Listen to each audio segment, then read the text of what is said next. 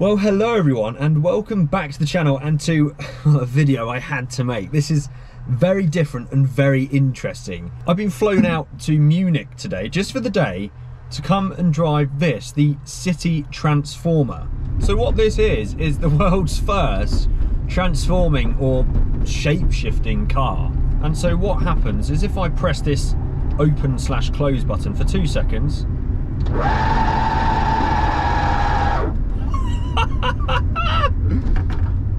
the wheels come out. So what we have here is an electronically powered city car with a central driving position that can fold and unfold itself. It can go from being 1.4 meters in width, which is what we are now in the unfolded position, and with the touch of a button, now the car is only one meter wide. That's essentially the same footprint or width as a motorcycle. Something else I have to say immediately is that the heated seat is ferocious and extremely powerful, which is perfect on a very cold winter's day here in Munich, especially as it's just started snowing. Amazing heated seat. So from time to time you do see sort of interesting creations coming along in the automotive space, but what intrigued me most about this, apart from the fact that it literally shapeshifts, is they're actually going to make this. I think from 2024 this will be available to have on the road. And the vision of this company is to essentially revolutionise travel within cities because they make the very fair point that cars, even the new efficient electric ones and smaller cars, are still too big for cities, especially when congestion is ever increasing. And you can't really argue with that. Now in folded mode, where it's a metre in width, it has a restricted speed of 30 kilometers an hour, around 20 miles per hour. But the idea with using that mode is that in traffic you can sort of go up or you can filter like a motorcycle would and it's only really going to be used then at those low speeds and the massive benefit of being able to unfold it is that then it creates much more stability and means that you can drive this car up to around 56 miles per hour. The most surprising thing of all though, and it's probably been said before, but this thing is honestly like a TARDIS on wheels. When you look at it from the outside, it's minuscule, there's no other way to put it, but inside it feels really spacious. Oh look, this Land Rover has parked rather close to the Audi next to it. I have an inkling we're going to fit in there, however. this thing is utterly brilliant. Look at that. Yeah, that, that shows you there. That's a Dodge Ram next to me. And even in unfolded mode that thing looks huge. So I mentioned earlier this thing has heated seats but it's actually got most of the amenities and comforts that you would expect in any normal size car. It's got electric windows and these actually remind me of like a McLaren Senna or a Ferrari Enzo. I think they're really cool. We've got automatic lights we've got Spotify you can listen to your phone's music this car even has front and rear parking sensors and a rear camera and of course, there is a good amount of storage and a usable seat behind me. It's a really strange sensation driving a vehicle from the centre. This thing's also going to have a usable range of around 111 miles. And when you think the average commute within London's less than three miles, that could last you over a month.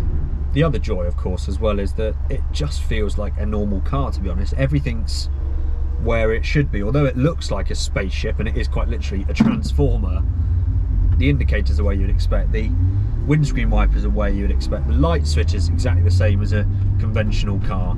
And so it's not at all daunting, you can just get in and go. So although these things aren't on the road yet, they're actually available for pre-order. So check out the website below and, and have a look because I think this is a very, very interesting proposition. And there's no denying that these cars are going to become very common on the road and they're only going to get more expensive so the earlier the better I suppose. It also gets quite a lot of attention this car. Got people looking and smiling at me. I can't actually do the transforming thing until I'm doing six kilometers an hour so I'll find someone and give them a demonstration. I can't lie I'm genuinely really enjoying myself right now I'm in my little cocoon in my city transformer. It's snowing here in Munich. I've got glass everywhere and so I've got such a good view around me. I mean, it's actually turning out to be the perfect tour vehicle. It's, it's brilliant. Whee! across the tram lines.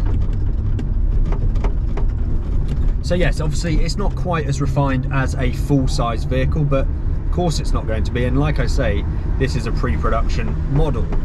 I'm not about to attempt to drive across the country in it either. I don't think we're going to be setting any world records in terms of range, but what it is is a very unique and special driving experience.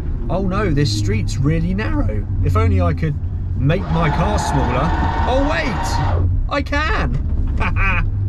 Look at my little reflection. I'm just imagining as well, if I had one of these, driving around with a friend in the back, I think would be absolutely hilarious. It would just be so much fun because it's got that sort of fighter plane setup with one pilot in the front and one pilot in the back and it sort of feels like that so I can just imagine with with a mate in the back it would be an absolute riot in here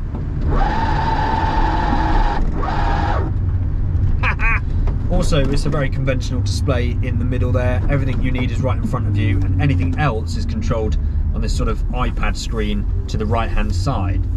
I'm a bit of a country boy in general as well. I, I sort of generally dislike driving in cities but I have to say being in something that feels essentially a quarter of the size of a normal car, all of the different cars and the lane changing, it's far less intimidating. And actually I'm not really finding this stressful at all. Because the thing is so tiny as well, the steering is immediate and very direct.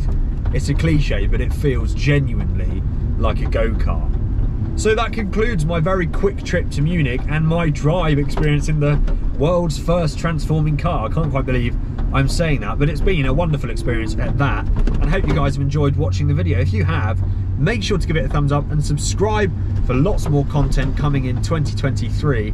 Also, if you're interested in, well, pre-ordering one of these or just finding out more, go ahead and check the link in the description below. I encourage you to do so. It's a wonderful, wonderful thing, this. And, uh, well, I, for one, am excited to see more of these on the road and over in the UK when we get them there. So thank you all once again, and I'll see you very, very soon.